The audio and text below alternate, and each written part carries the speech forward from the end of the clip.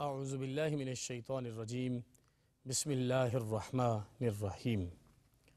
قال اللہ تعالی و تبارک فی القرآن الکریم والفرقان الحکیم۔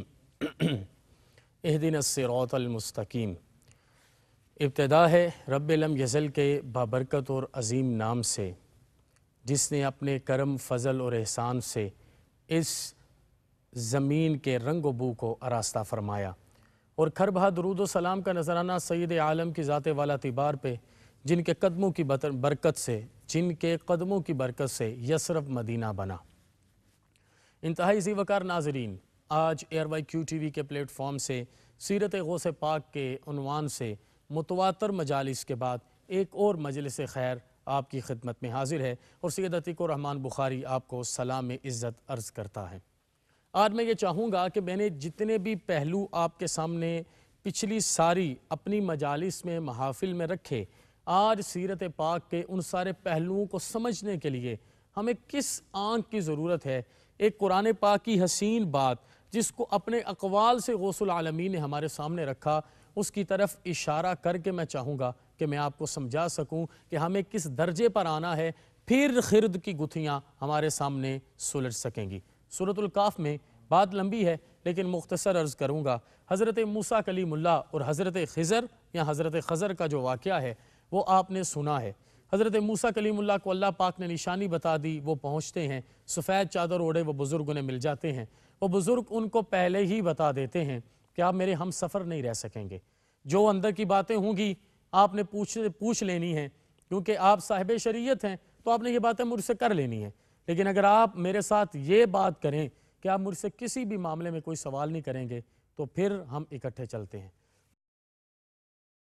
حضرت موسیٰ کلیم اللہ نے ان سے یہ بات کر لی۔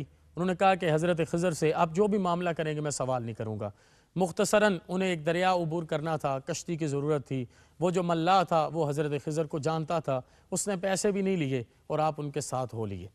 رستے میں آپ نے اپنا عصا مار کے اس کی کشتی کا ایک پھاٹ توڑ دیا۔ ایک پھٹا توڑ دیا۔ حضرت موسیٰ سے نہ رہا گیا۔ انہوں نے کہا، یہ کیا ظلم ہے؟ وہ پیسے بھی نہیں لے رہا اور آپ نقصان دے رہے ہیں۔ انہوں نے کہا، میں نے پہلے کہا تھا، آپ چپ نہیں رہیں گے۔ اب آگے بڑھیے۔ آپ نے کہا کہ چلیں، میں اب چپ رہتا ہوں۔ اب میں بات نہیں پوچھوں گا۔ آپ آگے گئے، ایک میدان میں بڑے بچے کھیل رہے تھے اور ایک بچہ بڑا خوبصورت اور جمیل، احسن بچہ تھا۔ آپ نے اس بچے کے قریب جا کے اس کی گردن ہی مروڑ دی اور اسے مار دیا۔ آپ حیران ہو گئے، یہ کیا کہ بغیر کسی وجہ کے آپ نے ایک بندے کو ہی مار دیا اور اتنے خوبصورت معصوم بچے کو آپ نے کہا، میں نے پہلے کہا تھا، آپ مجھ سے یہ باتیں ضرور پوچھیں گے۔ آپ نے پھر مجھ سے بھی سوال کیا۔ اگر آپ اب سوال کریں گے تو میں آپ کو جدا کر دوں گا۔ آپ خاموش ہو گئے۔ پھر آگے ایک بستی میں سے گزر ہوا، انہیں بتایا، آپ مہمان ہیں، ہمارے کھانے کا انتظام کرو۔ انہوں نے کہا، آپ خود آئے ہیں، آپ کون سا ہمارے بلانے پر آئے ہیں؟ آپ ذرا بات کو توجہ سے سنتے چلے جائیے اور پھر دیکھیے کہ امام الاولیاء کا میسیج اور پیغام کیا ہے کہ ہمیں کس باطنی درجے پر آ کے ان ساری چیزوں کو اپنے دامن تہی میں سمیٹ کے دولت سرمدی اور نعمت عظما کا درجہ پانا ہے۔ آگے بڑھتے ہیں، آگے چلتے ہیں تو صورتحال کیا بنتی ہے؟ کہ ایک گاؤں میں سے گزر رہے تھے، ان کو کام مہمان ہیں، انہوں نے انکار کر دیا کہ آپ اپنے کھانے کا خود انتظام کریں۔ ہم نے تو نہیں بلایا، آپ اپنی مرضی سے مہمان نوازی کے لیے آگئے تو وہاں سے گزرتے گزرتے ایک دیوار گرنے لگی، تو آپ نے فوری اس کی مرمت کر دی۔ حضرت موسیٰ بڑے حیران ہوئے، کہا، اس نے نیکی کی، اس کا پھاٹ توڑ دیا، وہ بچہ قریب سے گزرا، اس کو مار دیا۔ اب دیوار کو آپ نے سیدھا کھڑا کر دیا، حالانکہ انہوں نے تو آپ کے ساتھ شر کا معاملہ کیا، آپ کی بات بھی نہیں سنی۔ اب یہاں پر حضرت خضر نے کہا کہ ہمارا سفر ختم ہوا، میں آپ کو تینوں کی حکمت بیان کر دیتا ہوں۔ ادعو الى سبیل ربکا بالحکمہ۔ یہ یاد رکھی یہ قرآن پاک کا حکم ہے حکمت کے ساتھ ان ساری چیزوں کو لے کے جانا اور یہی دعوت رسول اکرم کی تھی۔ یہی دعوت آپ کے صحابہ اور یہی دعوت اولیاء کی تھی اور یہی سیرت غوث پاک کا سب سے بڑا پیغام ہے۔ اب دیکھیے کہ آپ کس غائبانہ نظر سے ان چیزوں کو دیکھ رہے تھے۔ آپ نے کہا کہ وہ کشتی ابھی تھوڑی دیر بعد جب جا کے لنگر انداز ہوتی نا تو وہاں پر ایک بادشاہ کھڑا تھا اور بادشاہ جتنی بھی اچھی کشتیاں تھیں ان کو چھین رہا تھا۔ میں نے کشتی میں نقص پیدا کر دیا۔ اب اس کا فائدہ یہ ہوگا کہ بادشاہ ان سے یہ کشتی نہیں لے گا۔ پہلی بات تو یہ ہے، دوسری بات یہ کہ وہ جو بچہ تھا، اس بچے کے والدین بڑے نیک تھے، بڑے سالے تھے، بڑے اچھے تھے، لیکن اس بچے نے بڑے ہو کے بہت برا بننا تھا۔ یہ ایک ولی کی نظر ہے۔ اس بچے نے بڑے ہو کے بہت برا بننا تھا اس وجہ سے میں نے اس بچے کی گردن مروڑ دی اور اس بچے کو مار دیا کہ اللہ اس کا بہترین نعم البدل عطا فرمائے گا۔ فقہا نے لکھا کہ پھر اس بچے کے بدلے میں اللہ پاک نے ان والدین کو ایک بچی عطا فرمائی جس بچی کے بطن سے ستر انبیاء کرام پیدا ہوئے۔ آپ نے فرمایا ہم آگے بڑھے تو وہ جو دیوار والا معاملہ تھا وہ کچھ یوں تھا کہ وہ دیوار میں دو یتیم تھے اور ان کا خزانہ تھا۔ دیوار گر جاتی تو دو صورتیں ہوتی، یا لوگ خزانہ لوٹ کے لے جاتے، یا اگر یہ بھی لے لیتے تو بچپنے کی وجہ سے اس کو صحیح جگہ پر استعمال نہ کر پاتے۔ میں نے اس لیے دیوار کو کھڑا کر دیا کہ یہ صحیح جگہ پر اس کو استعمال کرنے کی عمر تک پہنچ سکیں۔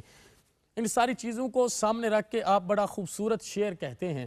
آپ فرماتے ہیں، فقم فیر دا ہو وَتِّبِعْ لِمُرَادِهِ وَدَعْ كُلَّ مَا مِن قَبْلُ كُنْتَ تُسَارِعُ۔ اس کا ترجمہ یہ ہے کہ جو پوری مجالس سے آپ کو سمجھا رہے ہیں کہ اپنے شیوخ کی رضا کے مطابق کھڑے ہو اور اس کی چاہت کی اتباع کرو اور اس کے علاوہ ہر کام جس کو تم کر رہے ہو اسے چھوڑ دو کہ جو شیخ کہہ رہے ہیں اس کے مطابق چلو، وہ شرعیت کو، وہ طریقت کو، وہ معرفت کو آپ سے زیادہ سمجھتے ہیں اور اگر آپ نے پیروی کرنی ہی ہے، پیچھے چلنا ہی ہے تو باقی سارے کاموں کو چھوڑ کے ان کے رستے پر آ جاؤ۔ آپ فرماتے ہیں، اگر تم سوال کرو گے تو کیا ہوگا؟ جیسے اس میں پورا واقعہ قرآن پاک کا اور اسی کی ہی تفسیر آپ کر رہے ہیں۔ سوال کرو گے تو کیا ہوگا؟ والا تعترد فیما جاہلت من امرہی علیہ فَإِنَّ الْاعْتِرَادَ تَنَازُعُ۔ اگر تم اپنے شیخ کے معاملات سے واقف ہوئے بغیر سوال کرو گے نا، تو اعتراض بن جائے گا۔ اور اعتراض جھگڑے کی وجہ بنے گا۔ آپ کو علم ہی نہیں کہ آپ کے شیخ کو اللہ نے کون سا مقام دیا ہے، کون سا درجہ دیا ہے، کس معرفت کے مقام پر بٹھایا ہے۔ اور آپ اپنی ظاہری عقل کے مطابق جب ہر چیز پر سوال و جواب کرتے ہو تو یہ بے ادبی کے زمرے میں آتا ہے۔ اس لیے ان چیزوں سے اعراض کرنا ہے اور ان چیزوں سے بچنا ہے اور صحیح معنوں میں اس رستے پر جانا ہے جس رستہ معرفت کے لیے آپ کو شیخ نے چنا ہے۔ آپ آگے بڑی خوبصورت بات ارشاد فرماتے ہیں اور یہ میرے امام کے، امام الاولیاء کے یہ الفاظ ہیں۔ فرمایا، ففی قصت الحدر الکریم کفایتن بقتل غلام والکلیم یدافعو۔ کہ آپ دیکھیں کہ حضرت خضر کے قصے سے ہمیں کتنی رہنمائی نصیب ہو رہی ہے کہ جب وہ لڑکے کو قتل کرتے ہیں تو حضرت کلیم ان پر اعتراض کرتے ہیں۔ اب انہوں نے لڑکے کو کس حکمت کے لیے قتل کیا؟ انہوں نے کشتی کا پھاٹ کس لیے توڑ دیا؟ انہوں نے دیوار کس لیے تعمیر کی؟ یہ معرفت کی باتیں تھیں اور یہ بلا شک و شبہ وہ جانتے تھے۔ اور یہ نہیں کہ حضرت موسیٰ کلیم اللہ آگاہ نہیں تھے، صرف مجھے اور آپ کو پیغام دینے کے لیے اللہ پاک نے اپنے دو محترم، ایک نبی کو، ایک ولی کو اس طرح چنا کہ قیامت تک آنے والے لوگوں کو اس کا پیغام مل جائے۔ آگے فرمایا، پھر کیا ہوا؟ فلما ادا الصبح۔ اب دیکھیے کہ آپ عربی ادب کے کتنے ماہر تھے۔ آپ نے لغت کے اعتبار سے کس طرح کامل دسترس حاصل کی کہ آپ کا ایک ایک لفظ اس طرح بندہ ہے جیسے سیل رواں کی طرح مجھے اور آپ کو اور آپ کے در پر چاہت حاصل کرنے والوں کو ثواب عظیم مل رہا ہے۔ فرمایا، فَلَمَّا أَدَا الصُّبْحُ أَن لَيْلِ سِرِّهِ وَصَلَّ حُسَامًا لِلْغَيَابِ قَاطِعُ کہ جب راز کی رات کی صبح روشن ہوئی، وہ رات جس میں راز روشن، راز پوشیدہ تھا اس راز کی رات کی صبح روشن ہوئی اور صبح کی تیز تلوار نے رات کے اندھیرے کاٹ دیے۔ یعنی کہ وہ ظلمت کے اندھیرے جو چھائے ہوئے تھے، وہ ظلمات جو چھائی ہوئی تھی جب صبح روشن ہونے پر انہیں کاٹ دیا گیا تو پھر راز آشکار ہوا۔ وہ جیسے حضرت اقبال کہتے ہیں، ہوش و خرد آشکار کر، قلب و نظر آشکار کر۔ یہ وہی پیغام ہے، یہ وہی پیغام ہے کہا کہ جب تک راز کی رات میں اس مقام تک نہیں پہنچو گے، تمہیں وہ درجہ نہیں مل سکتا جب آپ کو ہر چیز کی مکمل سمجھ آ رہی ہو۔ جب آپ کی تفہیم، آپ کی تربیت اور طبیعت کے مطابق اس لطافت کے مقام تک نہیں پہنچتی، آپ ان ساری چیزوں کو نہیں سمجھ سکتے۔ انہوں نے کہا کہ بات اتنی سی ہے، اقام لہو عذر الکلیم و انہو کذالک علم القوم فیہی بدائعو کہ کلیم نے عذر خواہی کی، اس طرح بزرگوں کے علم میں انوکھی بات ہوتی ہے کہ جب حضرت خضر نے، حضرت خضر نے وہ ساری باتیں بتا دی نا، تو پھر حضرت موسیٰ کلیم اللہ نے کہا کہ بالکل آپ درست تھے، مجھے آپ سے اس طرح سوال نہیں کرنے چاہیے تھے، جب تک آپ نہ بتاتے، مجھے تب تک خاموش رہنا چاہیے تھا، جس طرح ہمارا پیشگی ایگریمنٹ ہوا تھا۔ یہ ساری چیزیں آج میں نے آپ کے سامنے کس لیے عرض کی؟ میں نے آپ کے سامنے اس لیے عرض کی ہیں کہ وہ بندہ جو بندہ عابد ہے ہی نہیں، جو عالم ہے ہی نہیں، جو عارف ہے ہی نہیں، جو عاشق ہے ہی نہیں، اسے آپ کیا مقام سمجھائیں گے کہ سردے کی لذت کیا ہے؟ اسے آپ کیا مقام سمجھائیں گے کہ عبادت کی لطافت کیا ہے؟ اسے آپ کیا مقام سمجھائیں گے کہ اللہ کی معرفت کیا ہے؟ اسے آپ کیا مقام سمجھائیں گے کہ عشق کیا ہے؟ اس کے لیے آپ کو ایسے بزرگوں کے در پہ آنا پڑتا ہے جو دل کو نچوڑ دیتے ہیں۔ جیسے ہم گندے اور میلے کچالے کپڑوں کو نہیں دھوتے اور دو کے ان کے اندر سے ہر چیز نکال کے ان کو دوبارہ صاف اور پاک اور روشن کر دیتے ہیں۔ اس وجہ سے ضرورت ہے کہ حضرت سیدنا غوث العالمین اور آپ کے طبقہ کے ساتھ تعلق رکھنے والے تمام بزرگوں کی خدمت عالیہ میں حاضر ہو جائیں اور آپ کی جناب میں بیٹھیں۔